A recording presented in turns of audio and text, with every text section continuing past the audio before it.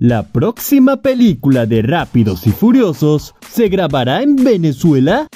Vin Diesel, el conocido actor que le da la vida a Toreto, sorprendió a sus fanáticos al mencionar que su sueño más grande era conocer el Salto Ángel y que hay cierta posibilidad de que algunas escenas de la próxima entrega de esta franquicia se graben en el país caribeño. En este video te compartiremos todos los detalles respecto a estas declaraciones. Pero antes, síguenos.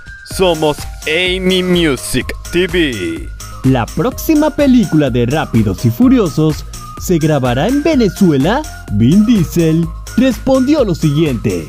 What do we have to do to take Fast and Furious to Venezuela? To Venezuela? Yeah. I've been working on it. My dream is to go to Venezuela. In fact, for a long time, my dream has been to go to Santo, Santo Ángel. ¿Y ustedes qué opinan acerca de estas declaraciones? Coméntanos.